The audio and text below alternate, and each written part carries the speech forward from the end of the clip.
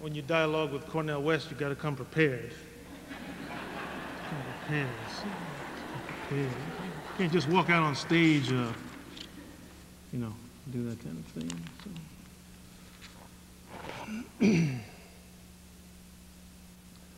I'd like to thank Chris Tires and the Concilio Latino, the David Rockefeller Center for Latin American Studies, and all the people who've gotten behind this event this afternoon.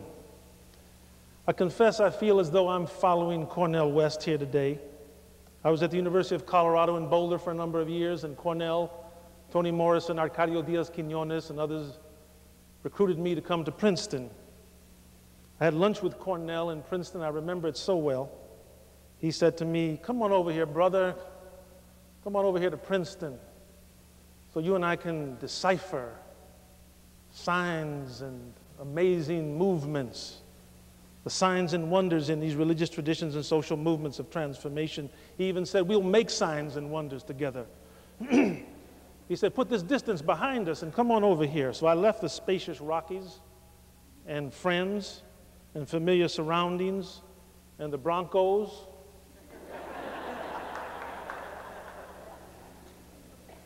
and I came to Princeton, and Cornel left.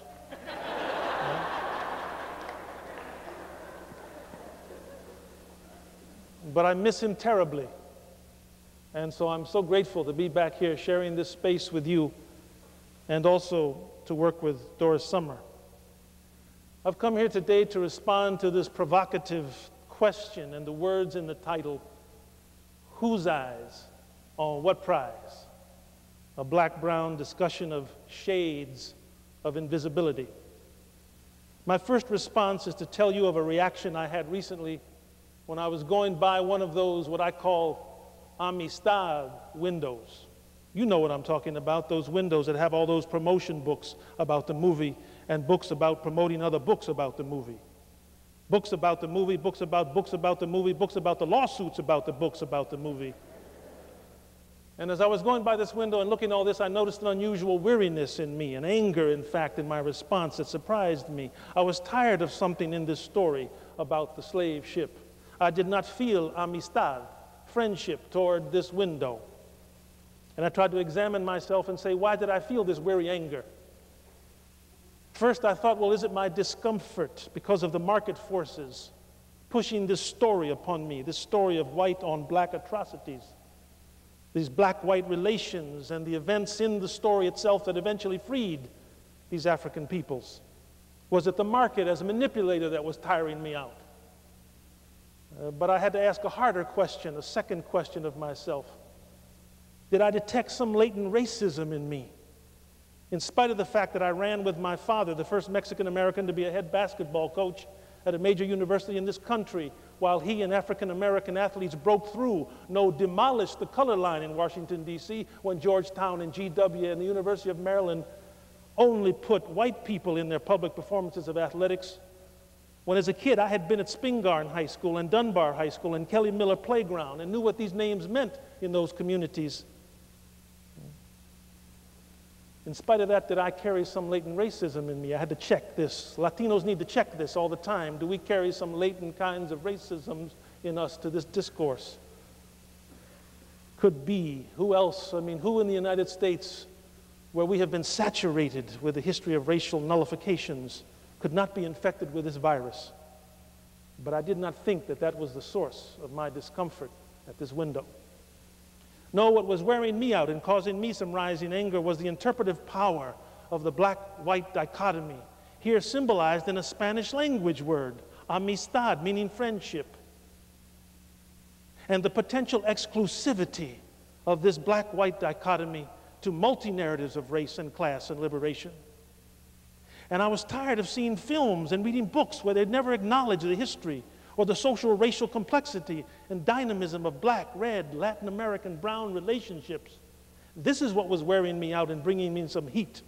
I was tired of seeing all of this, which erased the complexity and the power and the mutilations and the creativities of Latin American and Latinos, even though they've often been right in the center of these stories or on the periphery of these stories or mixed in with these stories.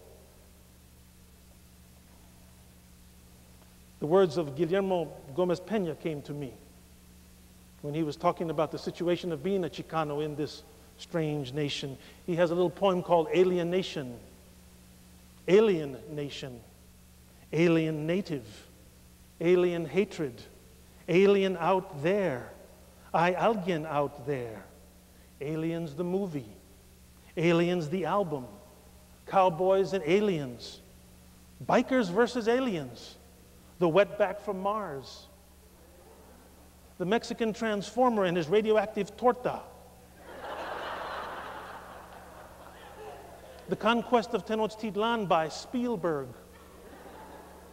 The reconquest of Aztlan by Monty Python. I am, therefore I cross, cross over dreams. I begin to think of the research of my colleague Albert Raboteau, African American brother at Princeton, who's been working on his remarkable encyclopedia on the history of African American religion, shows that there's a narrowness in the black white polarity once you put it in the context of the wider Americas. The history of slavery in America, in the US, this polarity works so well. A hegemonic, hegemonic model with inaccuracies in some places like New Orleans, Charleston, and the Caribbean. But this hegemony of the black white model breaks down with the hybridities of the Caribbean and in Mexico. And when those are acknowledged, acknowledged suddenly you've got a dialogue. Also, I was concerned for the crisis of this democracy. Uh, what you'll hear today, and what you hear a lot from Latinos now, is that we got the demographics. We will overwhelm. Well, demographics are very important in here, but demographics have got to be turned into democracy, some new conceptions of democracy. It's not just a matter of we got more people coming in from Latin America. What are they going to bring? What are they going to meet? What are we going to do within the fact in the lifetime of any 20 year old today at Harvard, no one ethnic group, including whites of European descent, will comprise a majority of the national population? Hmm? In what follows, I want to do three things for you. First of all, I want to play a piece of music for you from a friend of mine who's got a group called Dr. Loco and the Rocking Jalapeno Band to set up the spirit of the kind of thing I want to play, want to do today.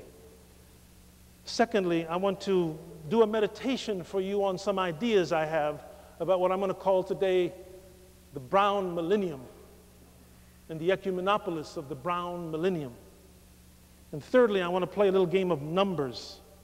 Since we're at the end of the century of the problem of the color line and the end of the millennium of whatever, I want to also talk about the years 1848 and 1898, very important years in the history of this country and the history of these people, which Doris already mentioned.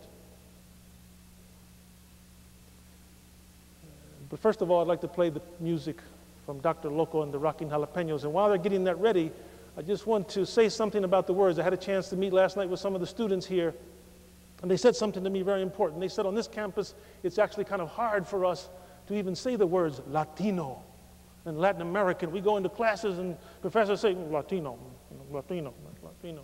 Reminded me when I was an undergraduate, I took a course in dramatic art, and we had to do recitals in places like this, in a big room like this, only you'd only have 15 people in the audience. And that's hard to keep those people, you know, you keep your concentration going. I was taking a course in dramatic art with a woman named Esther Smith, the sister of Lillian Smith. Lillian Smith, who wrote that remarkable novel, Strange Fruit, about an interracial love affair in the South. Lillian Smith, who wrote Killers of the Dream. Lillian Smith, who wrote Our Faces, Our Words. Well, her sister was my teacher. And for my first recital in college, she said, You got to do this piece by Norman Cousins. And it's on the death of Albert Schweitzer. So I did my recital about Albert Schweitzer. And I came off the stage, and she was there waiting for me, and she said something to me I never forgot. She said to me, She looked up at me and she said, Honey, she called everybody honey. She said, Honey, you were wonderful. But when you say the words Africa and Europe, I want to be able to see the continent appear before me. It's not Africa and Europe. Well, you've got to get used to saying Latino and Latin America because these are important places, and Boricua and Puerto Rico, these are just as important as Africa and Europe.